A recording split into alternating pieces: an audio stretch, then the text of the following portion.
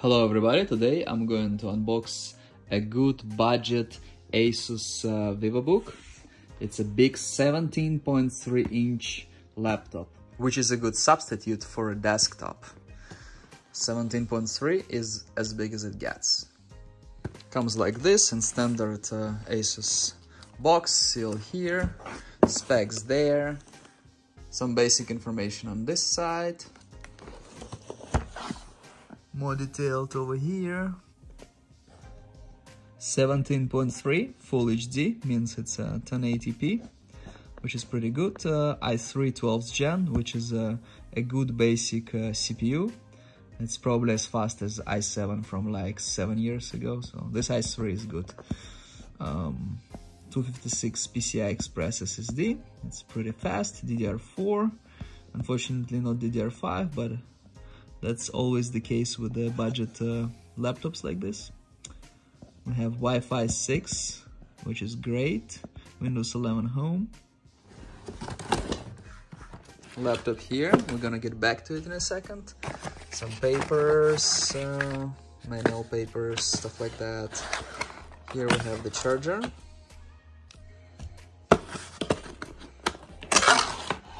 Here we have some more papers more papers. 65 watt which is uh, pretty good. It's not 45 65 is fine. Um, 100 to 240 volt means it can work anywhere. But you'll need an adapter if you need for a different power outlet.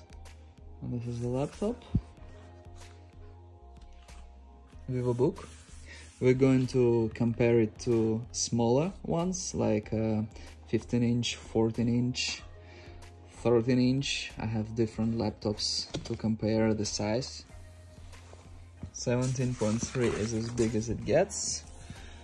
Oh nice. This is a new model VivoBook from uh, 2022 rather like end 2022 comes with fingerprint here.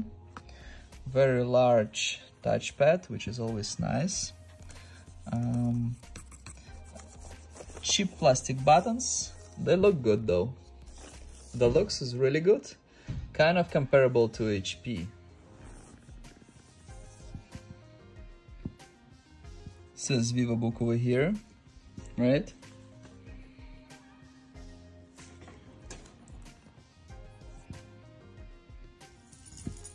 Screen. We have shutter. Everybody has shutters now, which is nice. Uh, is uh, is a decent size for such a big uh, laptop. I have here for softer closing.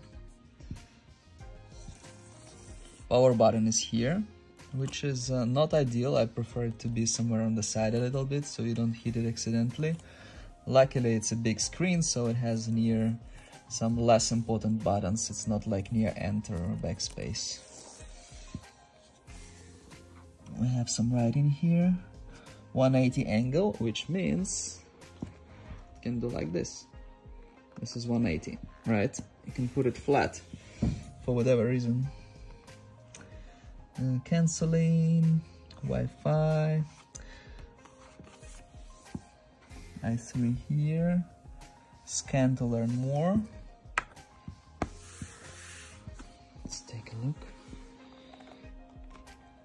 here we have USB-C to USB-A, HDMI, headphone input, uh, this is for charging. This side another USB-A. You have everything except for SD card. I would uh, be happy if it had SD card slot somewhere here. Thickness over here, pretty good. It's uh, pretty thin over here it gets a little bit bigger. It has this uh, bumps over here which are actually good for ventilation for cooling serial there model number and everything. We have this uh, screws here. Also no RJ45 and no Kensington lock but it's fine I was thinking to upgrade it, add uh, another 8 gig of RAM, but Um, I wasn't able to open it. I unscrewed it and uh, then it's so tight everywhere here. I feel like I'm gonna break it if I try to open it, so I'll keep it at that. 8 gig of RAM is, is still pretty good after all. It's, it's fine.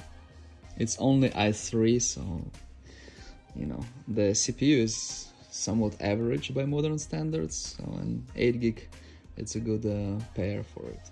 So here we have 17 inch Asus 15 inch uh, 2021 HP 14 inch 2021 uh, Lenovo IdeaPad and this one is 13 inch Dell XPS but this one is kind of premium so it has very small bezel. That's why it looks very tiny